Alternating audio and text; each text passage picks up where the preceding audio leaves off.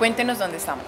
Estamos en Cartago, en el Valle del Cauca, en el norte del Valle del Cauca, una ciudad con 483 años de historia, que ha sido conocida durante ese trayecto histórico como la cuna del talento y la capital mundial del bordado.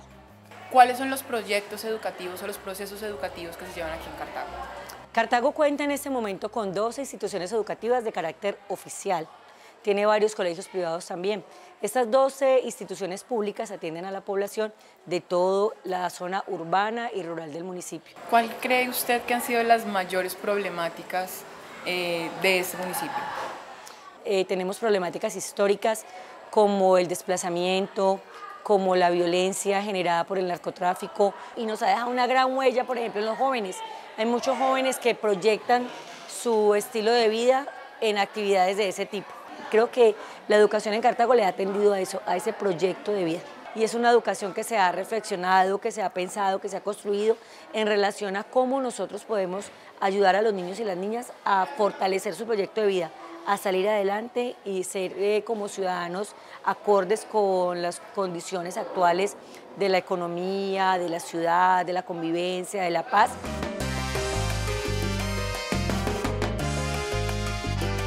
La expedición pedagógica en Cartago, Anserma Nuevo y Obando es una expresión más de las diferentes maneras en que Expedición Pedagógica Nacional, desde sus acumulados, se une al movimiento o forma parte del movimiento pedagógico.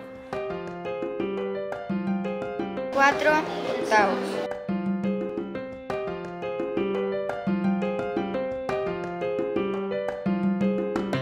Buenos días, bienvenidos a nuestra institución educativa Sor María Juliana Cartago Valle. Vamos por acá. Profe Rodolfo, cuéntenos cuál es la importancia del arte en nuestra institución. Sor claro, Cordi. Eh, el enfoque de la institución es un enfoque interactivo crítico. En el arte los niños comparten sus ideas, los niños interactúan y en eso generamos una cultura de paz. Hace 27 años teníamos un problema grandísimo y es que Cartago era cuna de grandes mafiosos, de grandes capos de la mafia y ellos pues, habían muchas estudiantes que el sueño era vivir con un mafioso porque les daba una calidad de vida. Una situación completamente difícil donde nos dimos en la tarea de hacer de Sor María Juliana territorio de paz porque fuimos generando unos espacios de reflexión con los estudiantes. Empezamos a crear valores, por eso nuestro enfoque pedagógico es precisamente interactivo crítico, donde los alumnos reflexionen acerca de su proyecto de vida. La artística a nosotros nos ha ayudado a relajarnos, a expresar nuestros sentimientos, a entender las acciones de los demás, a descargar muchas cargas emocionales. En mi caso, eh, muchas veces cuando estoy enojada, cojo pintura, lo que tenga a la mano, y comienzo a expresar mis sentimientos con, la pintura. Este mural que vemos acá lo podemos considerar el más grande de Cartago en una institución pública.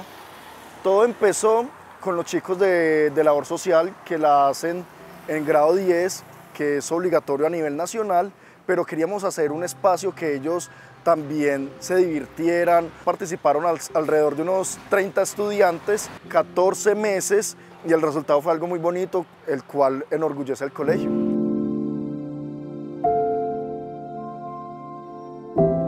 Creamos dos semilleros de investigación. El primero, el grupo de robótica Cirsor Matronic, que se apoyó plenamente en Ondas para financiarse inicialmente. Y por parte del Club de Robótica, pues hemos participado en múltiples convocatorias a nivel nacional e internacional. Hemos ganado ya en tres escenarios en esa dirección y en ese venimos trabajando desde hace unos ocho años. Uno de los estudiantes que estamos viendo eh, está trabajando en una plataforma, digamos, pedagógica que estamos creando en este espacio, lo llamamos escritura inversa. Mi proyecto más grande es el desarrollo de un libro que se llama eh, El universo en tus manos, una guía para jóvenes astrónomos. Este libro más que todo trata eh, como de darle una guía mayor y más amplia de todas las maravillas del universo que podemos, que podemos explorar, de muchas posibilidades que pueden descubrir.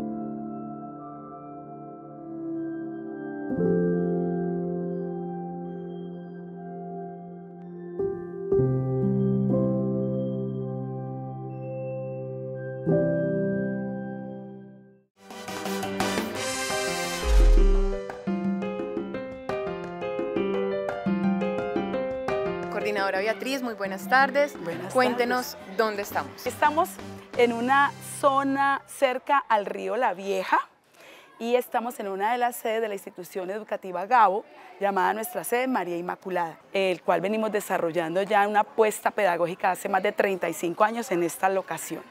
Bueno, muy buenas tardes.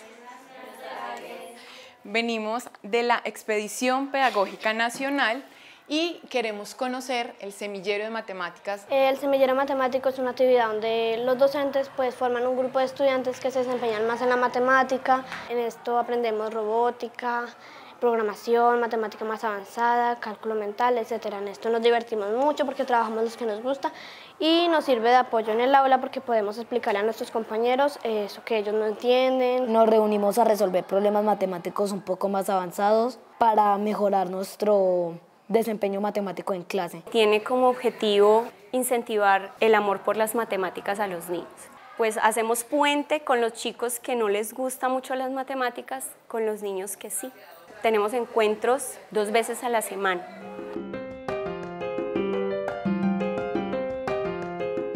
El tangram es un antiguo juego chino que consiste de siete piezas llamadas tans. Con ellas se pueden hacer diferentes formas, por ejemplo, un palacio o un caballo.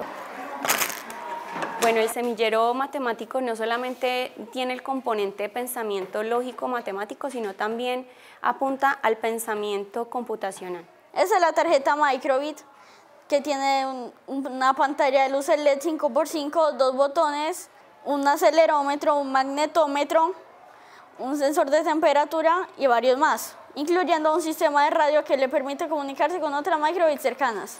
En la programación se trabaja principalmente en la plataforma Makeup, programando los comandos que luego los vamos a instalar en la Microbit. Está orientado a la computación física, es decir, conectar el código con dispositivos electrónicos, por ejemplo la Microbit.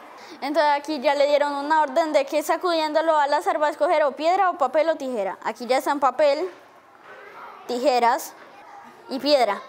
El semillero es una oportunidad para permitirle a los niños conocer otras realidades. No hay como otro espacio como la escuela donde den oportunidad a los estudiantes de, de, no conocer lo que ellos tienen de pronto en el barrio que viven o en su casa diariamente, que están recibiendo eh, esa, ese impacto de la violencia social y familiar. El semillero me gusta a mí porque yo en mi futuro me veo, me enfoco como un ingeniero y la programación, las tarjetas del microbit me atraen y la matemática es una materia muy favorita para mí y me gustaría aprender mucho más de ella. Permite que los, los niños tengan oportunidad de conocer desde la ciencia y la tecnología otras formas de, de vivir.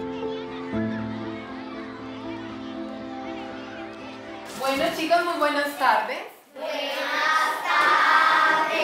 Queremos que nos cuenten un poquito de qué se trata este semillero de astronomía de la institución educativa GAU. El Club Infantil de Astronomía de los Guardianes de Bellatrix es un espacio en que nos encontramos y hablamos sobre todas esas incógnitas que tienen sobre el universo, sobre todas esas aplicaciones que nosotros podemos usar y todo lo que, las puertas que le abren a ellos las redes sociales. NASA Edges es una página creada por la NASA que es el sistema solar en tercera dimensión. También se puede utilizar como cuando en noches estrelladas uno, uno sacar el telescopio y saber dónde está ubicado cada cuerpo celeste.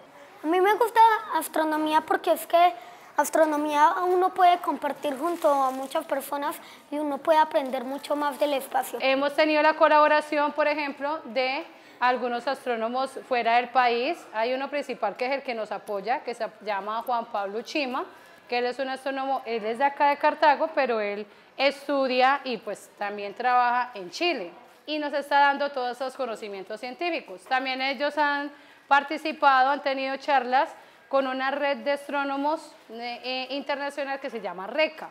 Bueno, Tiago, cuéntame, ¿tú cómo crees que este proyecto este club de astronomía incide para que tengamos aulas en paz? Bueno, a mí me parece que reforzamos esas emociones buenas que tenemos que noten que no las practicamos muy a diario, socializamos con nuestros compañeros, también tenemos empatía y somos felices en lo que hacemos. Y a mí me ha dado una meta el, el Club de Astronomía. Yo quiero ver el cometa Halley que va a pasar en el 2061. Nuestra propuesta pedagógica va vinculada hacia el al desarrollo socioemocional. Nosotros decimos que nada se aprende si no pasa primero por el corazón. Entonces trabajamos el tema de autoestima, el tema de amor propio, de gestionar mi emoción, de saber respetarte a ti, trabajar conmigo. Entonces es toda una apuesta en torno al desarrollo socioemocional. Porque cuando yo me amo a mí, aprendo a amar al otro, a respetar la naturaleza, a estar conviviendo y coexistiendo.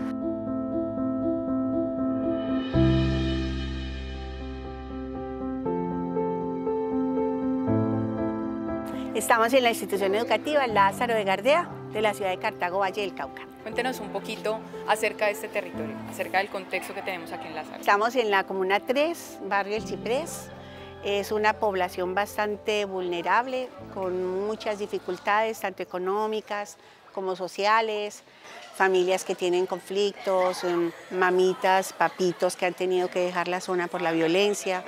Tenemos muchas situaciones emocionales complicaditas en nuestros chicos. ¿Cuál es el papel que juega la institución educativa en ese tipo de problemáticas? Bueno, yo siento que el trabajo que nosotros hacemos va en tres sentidos. El primero sí es el trabajo emocional hacia los chicos. La segunda, por supuesto, es lo de convivencia, que tiene que ver tanto con el territorio, pues con sus familias, como dentro de la institución. Y la tercera, yo sí siento que es eh, desde la parte artística y académica. El día de hoy quisiéramos mostrar precisamente ese trabajo artístico que hace en la institución. Muchísimas gracias por recibirnos. Queremos que nos cuente un poco de su semillero de música. Esto es una propuesta que surge a partir de la necesidad que vemos en la comunidad de que los muchachos tengan un espacio de expresión artística y cultural. Identificamos muchos jóvenes que muestran un gran interés por la música, por el teatro, por la danza, por la pintura. Entonces, a partir de esa necesidad, el colegio crea como ese enfoque del área artística tenemos una población que de pronto en la mente o en la cabeza o en su realidad no están conectados con muchas posibilidades, no ven oportunidades, no saben qué ponerse a hacer en la vida. Entonces llegan a la clase artística y toca como una fibra que ellos no sabían que tenía. Entonces ahí es donde el arte empezó a trabajar, a mostrarles otra realidad, ver que se pueden expresar a través del arte, ven que pueden ver el arte como una forma de vida, como un proyecto de vida. Cuéntanos, para ti, ¿qué significa la música? Para mí, eh, significa una catarsis, como un lugar donde me puedo dejar llevar. La música eh, para mí es algo fundamental, me ha ayudado para muchas cosas como personales. Me costaba mucho hablar con los demás y antes me, me está sirviendo. Ya he hecho varias presentaciones acá en Cartago y me ha servido bastante. Flaca, no me grabes Pues un impacto muy, muy, positivo porque yo antes no decía las cosas, no, me, no dejaba salir nada de mí, o sea, yo me guardaba todo y llegó un momento donde yo explotaba y no podía controlarme. Entonces la música me sirvió para eso.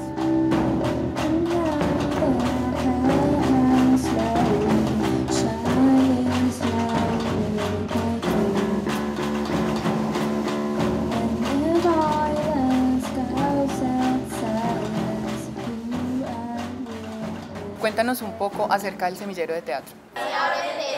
la obra va a comenzar. En esta obra la vi yo y te la voy a contar. Había una vez... Empezamos a hacer un semillero anual donde la idea es que los chicos puedan tener la posibilidad de conocer eh, cosas desde las artes escénicas.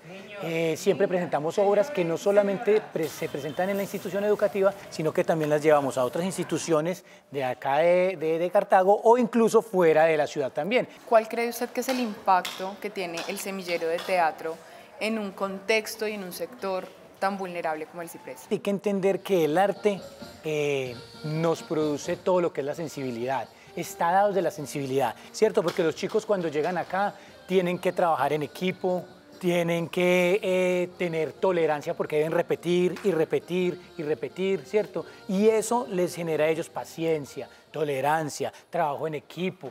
eh, empatía. Les ayuda a los chicos en muchas cosas para su proyecto de vida, hacia el contexto social en el que ellos se rodean.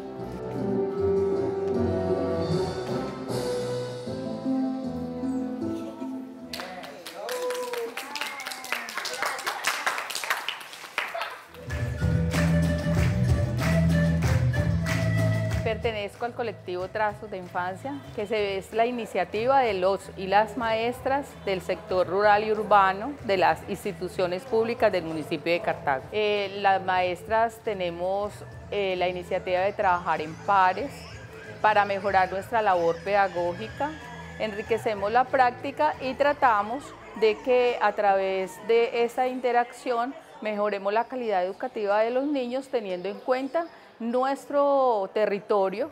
Los dos pertenecemos a COART, el colectivo de profesores de arte de la ciudad de Cartago. Nosotros nos hemos reunido desde hace tres años en busca de mostrar nuestras experiencias y nuestras prácticas pedagógicas en el aula con nuestros estudiantes en las clases de educación artística. Creemos que de alguna manera estos procesos fortalecen no solo desde el expositivo, sino a nivel personal en los chicos, ya que digamos que eh, para lograr la paz o o trabajar alrededor de ella. La base es como reconocer nuestras experiencias, reconocer nuestra verdad y digamos que cuando la contamos ya podemos generar un proceso de sanación. Yo siento que el colegio es el lugar perfecto para sanar, ¿no? Todo eso se está dando en COAR, en Colegiarte propiamente, porque le tenemos el nombre Colegiarte a la exposición a través de la música, la poesía, el dibujo, la pintura, la fotografía, los audiovisuales, todo lo están mostrando ahí. Y es que en cada encuentro un profe comparte lo que viene haciendo. Entonces ha sido para mí muy enriquecedor porque es también salirse un poco, reconocer en el otro qué está haciendo y qué yo puedo usar.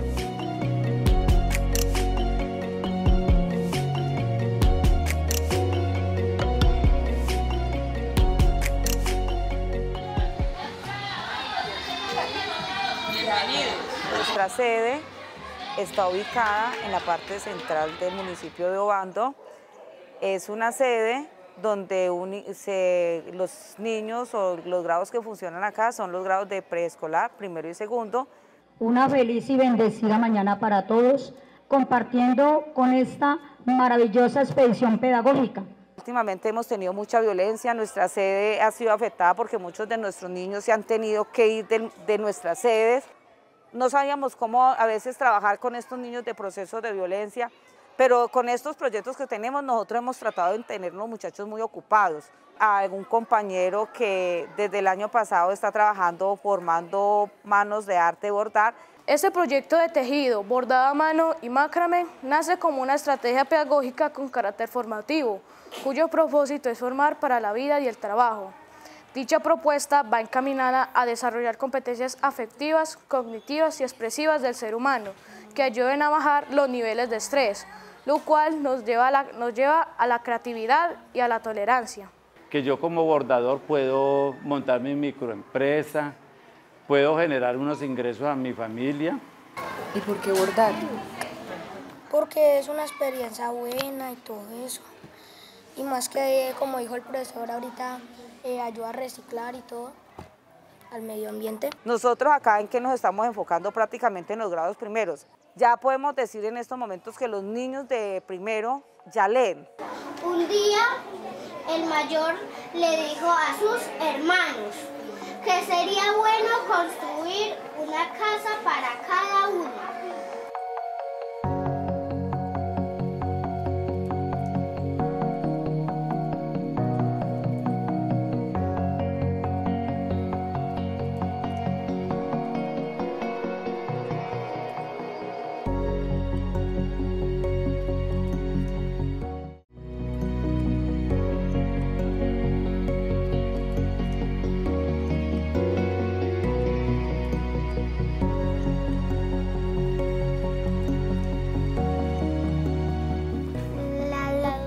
Rural es un espacio para soñar, donde los saberes escondidos son descubiertos para el progreso y el bienestar de nuestra comunidad campesina. Profe, cuéntenos un poco sobre la institución. Nos encontramos en la vereda Limones y pues la productividad prácticamente es agricultura y especialmente la ganadería. pero cada día más felices. Estamos muy contentos y, y, yo sé que ellos están contentos porque lo que hace uno como maestro en zona rural o en todas partes es que uno mira los ojitos de los niños y en los ojitos de ellos nos dicen cómo están, qué tienen. Para mí el cargo de representante ha sido muy importante porque me ha permitido realizar huerta, muchos proyectos. Eh, también le dije a la profesora que podíamos hacer un compostaje. Bueno, Johan, cuéntanos qué estás haciendo. Hago manillas, hago collares. Ayer los cogí, les enseñé el tejido que es este. Y ellos ya aprendieron y ya estoy averiguando cómo hacer más y Ay, muy lindo. Muy lindo. Sí. Le falta el otro pedacito. la, la, la, pro dice que fue una enamorada y que se le... Claro, y entonces... Tiene la de collares y de manillas.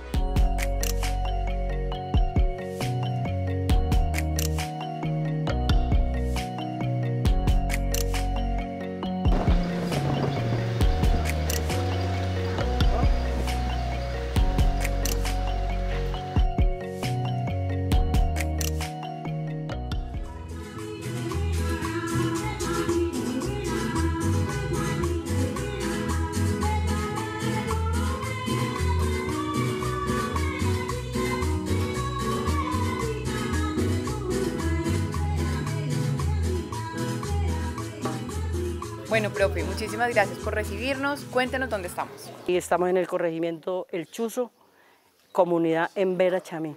Bueno, profe, cuéntenos un poco sobre la escuela. Esta sede mm, tiene como nombre San Juan Bosco. Tengo 12 niños. En estos momentos tenemos la inclusión del idioma español con el idioma en Vera Chamí.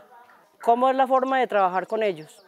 Con carteleras en una parte se les hace a ellos palabras en español y los en vera los descifran. Por ejemplo, acá coloco las palabras en el lenguaje de nosotros, en el español.